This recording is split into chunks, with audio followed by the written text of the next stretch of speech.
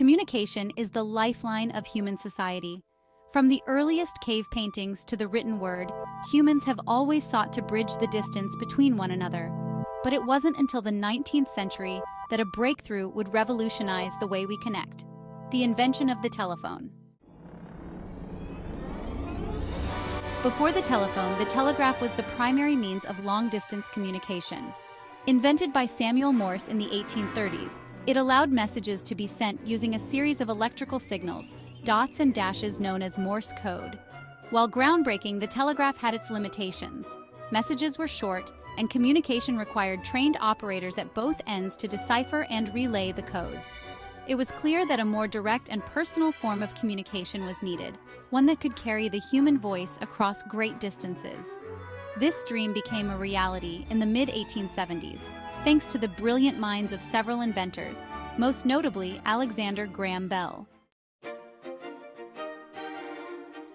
Alexander Graham Bell was born in Scotland in 1847 into a family dedicated to the study of speech and hearing.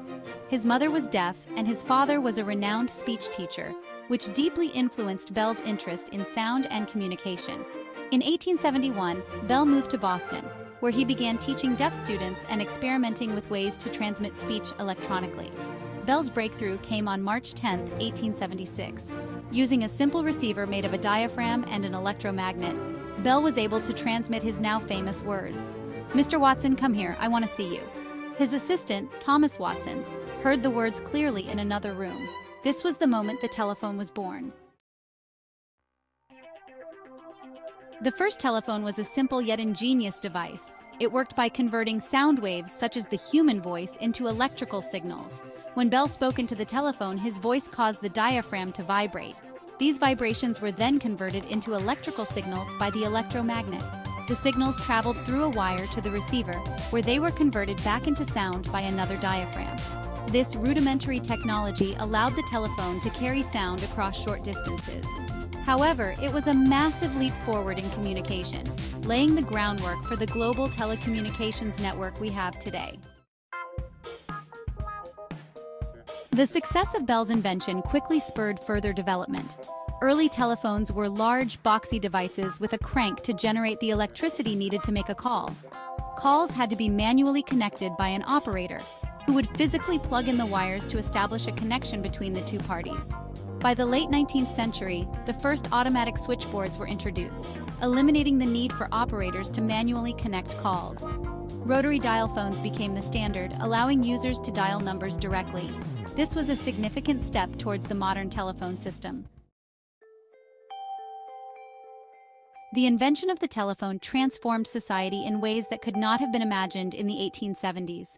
It shrank the world, making it possible for people to communicate across vast distances instantly. Businesses flourished, families stayed connected, and information flowed more freely than ever before.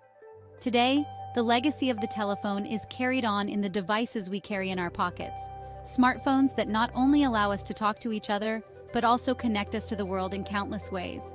Yet, it all began with a simple idea, the desire to hear a loved one's voice from afar. Alexander Graham Bell once said, The day will come when the man at the telephone will be able to see the distant person to whom he is speaking. That day has come and gone, but the telephone, in all its forms, remains one of humanity's greatest achievements. Thank you for joining us on this journey through the history of the telephone. Stay tuned for more stories of innovation and discovery.